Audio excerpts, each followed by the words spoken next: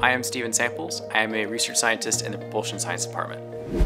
A lot of what I do is I help out with the electric propulsion group, so I help test and characterize EP devices, you know, large Hall thrusters for interplanetary things, really small thrusters for other sorts of applications. Kind of understanding those, knowing what goes wrong, what goes right, how we can make them better, things like that. And I'm also in charge of our multipactor lab, which is a, a it's a way that RF devices can get damaged in space. So I'm in charge of, of consulting people on that, testing devices, and kind of making the process better for, for future you know, projects.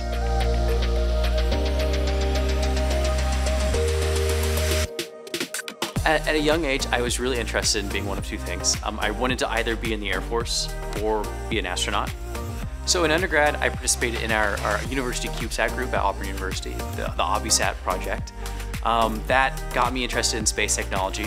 And then as I was applying for grad schools, I kind of uh, decided, well, I'm really interested in EP, really interested in CubeSats, let's go for miniature EP. That got me into grad school. Did a lot of work with JPL, with NASA, um, and then whenever I heard there was an open for aerospace, I jumped on it.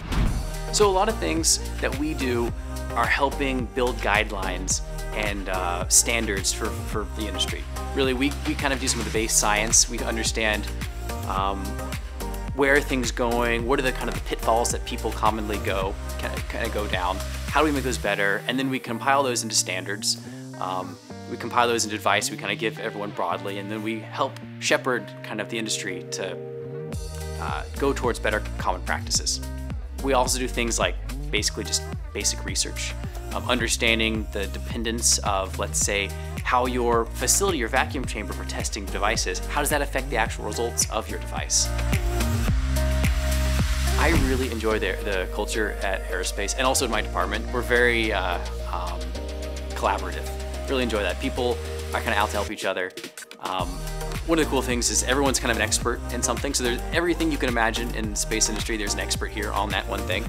If you ever have problems, you just go to the person and ask them, like, hey, I've got a problem, can you help me? And 99 times out of 100, they'll be like, yeah, absolutely, let's go drop it, let's figure out your problem. And that's really enjoyable.